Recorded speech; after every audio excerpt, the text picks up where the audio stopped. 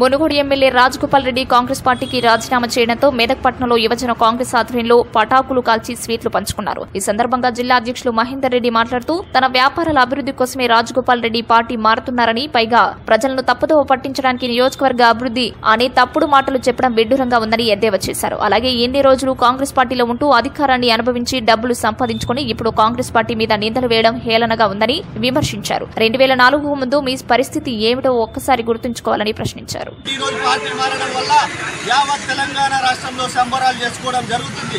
దానిలో భాగంగానే ఈరోజు మెదక్ జిల్లా యోజన కాంగ్రెస్ ఆధ్వర్యంలో ఈ రోడ్లపై పటాకులు కలిసి స్వీట్లు పంచుకొని ఆనందాన్ని వ్యక్తం చేయడం జరిగింది. అయ్యా రాజగోపాల్ రెడ్డి గారు రెండు వేల నాలుగుకు ముందు నీ యొక్క పరిస్థితి ఏందో మళ్ళొకసారి గమనించాలని సందర్భంగా తెలియజేస్తున్నాం. నిన్ను ఇదే కాంగ్రెస్ పార్టీ ఎంపీని వేసింది ఎమ్మెల్సీని చేసింది. అదేవిధంగా ఈరోజు ఎమ్మెల్యేని కూడా వేసింది. అటువంటి కాంగ్రెస్ పార్టీని ఇబ్బంది పెడుతూ గత రెండు సంవత్సరాలుగా నువ్వు ఇష్టానుసారంగా మాట్లాడినావు.